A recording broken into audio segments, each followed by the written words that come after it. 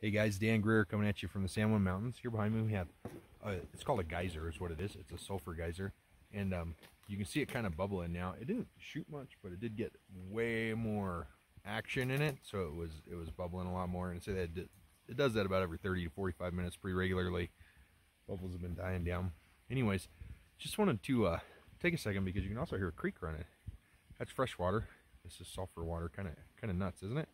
But anyways, just wanted to take just a few seconds to kind of point out that, that you can be right beside something else and not even know that it's there. Like you can coexist beside somebody that maybe you don't agree with. And in today's world, we're really struggling with some of that stuff, especially here in the United States.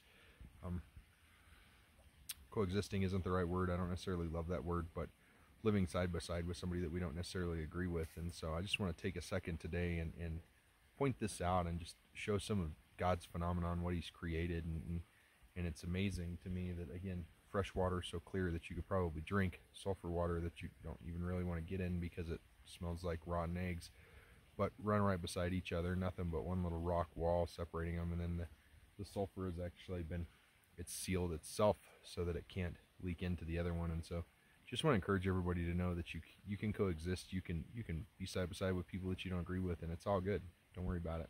All right hope you guys have a great day. Talk to you later